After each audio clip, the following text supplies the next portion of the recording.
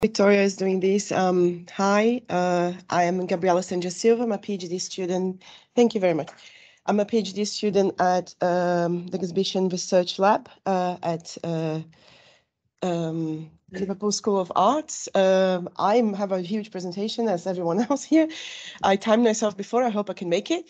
Uh, so pace with me. Let's let's go. Uh, um, just to say, I'm actually studying uh, radical pedagogies inside uh, biennials and contemporary art biennials. So this is like a, a slightly out of my field, but I'm I'm I gonna I'm I'm I'm bringing this to you because, uh, as you can say, this is going to be part of part of my journey as a researcher as well too. So, decolonial approaches in large-scale contemporary art exhibitions. Uh, so, from the history of making cultural authority perspective and exhibition studies, the contemporary art research field deals with constant changes in methodologies, models, institutional critique. Uh, this presentation is a small selection of decolonial practices applied by curators, artists, and institutions during three large-scale art exhibitions across Europe in 2022, which is the 5th, 9th Venice Biennial, Documenta 15, and Manifesta 14. The term decolonial uh, translates to contemporary art research as part of one of the most recent turns explored by the field after the conceptual turn, discursive turn, educational turn, social turn, and the colonial turn. So just for you to understand where it sits somehow for the contemporary art studies, uh, the colonial turn explores strategies by artists, curators, and institutions to approach cultural gaps or inequalities in the practice of exhibitions or projects, or also like gaps in the art, art history. On tackling inequality, you are turning the voiceless into protagonists, inserting artists into the art history timeline, usually female artists, and giving space to parallel narratives to Euro or Westernized vision of culture. Therefore, there's a recognition of intersectionality uh, um, as it appears as a motto for us inside the contemporary art uh, studies and uh, wide use of transdisciplinary practices as well, and also the recognition that we have to uh, get rid of these uh, uh, attributes of low and high art that we have since the modern slates. Uh, the exhibition that I'm going to present here, they don't approach explicitly the colonial themes, but since we are in the, the colonial turn era, the framework that touches it, it doesn't anyway. Uh, just a quick introduction to you uh, for you to understand the context on that. How about large-scale exhibitions? Uh, those are types of ex exhibitions that happen every two years as biennials or three years as triennials or five years as Documenta. Uh, they are very kind of a fast-paced mode of consumption and production ex exhibition that very different from the model of museums that we have. And they flourished across the globe especially in the 1990s, in which we call biennalization, biennalization, sorry, uh, uh, in uh, art history. But they also like sometimes called hegemony machines, sometimes community catalysts. This is actually actually a, a map from 2018 from On Curating that shows around 200 uh, exhibitions. And actually nowadays we have around 326 uh, biennials worldwide. Um, the Venice Biennial was the first of its type. It started in 1859, uh, and it started as somehow like a, a, a concept of the world exhibitions uh, in which you have like invitations by countries. So the countries have some sort of pavilions uh, where they show like a new work. Um, so since 1907, uh, the, in Giardini in Venice, they have like different pavilions. So the actually countries build it up spaces for the exhibitions. So there you have like Belgium, Hungary, Germany, Great Britain, uh, France, and Russia. But today, Venice Biennial has 30 pavilions in the Giardini, but also representation of 68 countries. Uh, that's why it's considered the Olympic, Olympics of um, contemporary art. Uh, since the beginning of uh, it, it, um, it works, uh, it has like a parallel exhibition besides the pavilions. Uh, two important thing facts that for me are important this, this discussion today is that in 1922 there was like a big exhibition of um, masks of um, uh, African masks. There was like a really kind of tackling the whole in the continent of Africa and was considered too ethnographic and not artistic enough for uh, for this is like a so 100 year ago 100 years ago we have this discussion and also in 1934 uh, was uh, Venice Biennial stage the first meeting of Benito Mussolini and uh, Hitler. Just to tell like a little bit about the structure of that. I have selected three national pavilions to talk about today.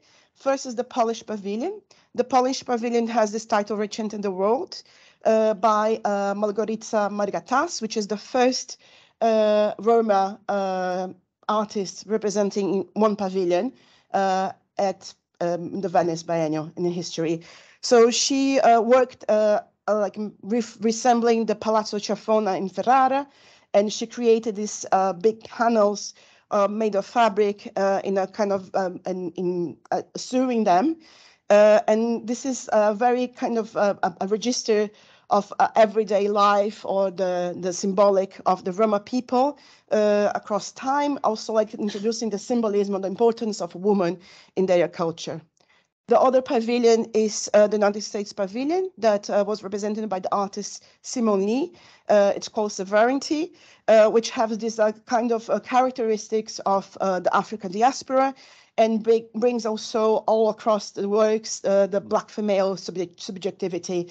It has from like large scale to videos as well too, as you can see here. this is a small video performance on which Simone Leigh uh, kind of performs a ritual in Baga uh, um, in Guinea. And this is a series of uh, ceramics works and bronze that she takes the cowrie shells as a symbol and reshapes them. The other pavilion I'm talking to talk, talk about is Brazilian pavilion uh, of the artist Jonathas Andrade that works with this idea of using uh, common daily life expressions uh, and he makes a joke about um, this this expression calling entrar por um ouvido sair para um outro, meaning entering from one ear, getting out from the other ear, which means like you know don't take care of that really much. Uh, but the installation is very interesting, brings like loads more than 200 of these expressions, says and metaphors, uh, in a way to kind of materialize the poetic of everyday life. Uh, I think my favorite one is like this one, Cara de Paisagem, which is like landscape face, uh, this is like the translation from to English, which will be like most more or less like poker face in English, um, which is like says like how we are kind of avoiding to show any emotion, even though there's like a tricky situation going on. Uh, from the main exhibition, uh, I selected five artists that the curator Cecilia Alemani presents in a form of like reinserting them into the history of art. So very important women that kind of being erased. One is Dadamaino, which is like an Italian uh, artist uh, that work with a process called uh, programming art or programmed art. So she had lots of like texts about it, which is basically kind of a base of uh, how we kind of think digital art today. Uh, other one is Toyen, uh, as a pseudonym from Marin Čermínová. Uh, and Toyen was a part of the surrealism process in France, and she worked very much with the idea of like tweaking positions of sexuality.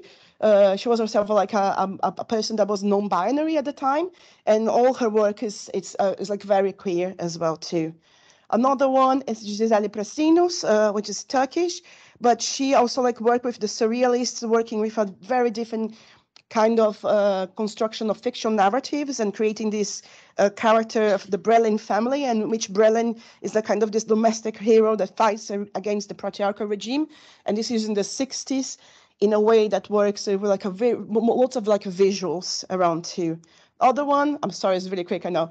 It's Minnie Evans, uh, that is an um, artist that uh, she doesn't have an academic like formation, but she works with this kind of uh, cosmology and religious symbology and chimerical creatures and botanical uh, forms as well too.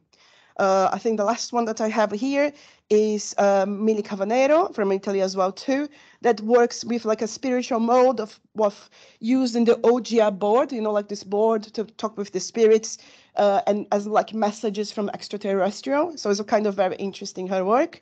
Um, so the, the biennial, Venice Biennial is open until, uh, sorry?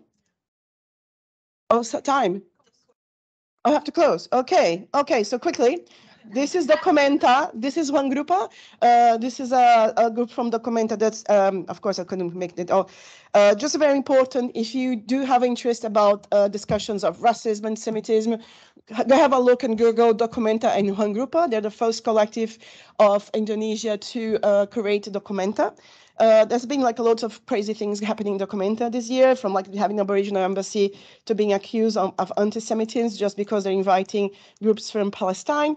But also, I think this is the most important thing to say about Documenta. I'm exhausted. I'm not exhausted. I'm exhausted.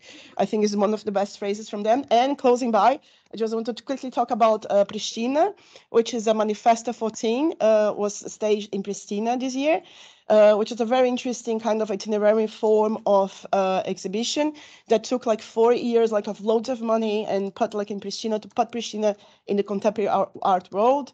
And this is like a queer takeover of Ruggiero Redinoni on turning into like this pink, beautiful color, the Tito um, monuments in the middle of the city. Thank you very much.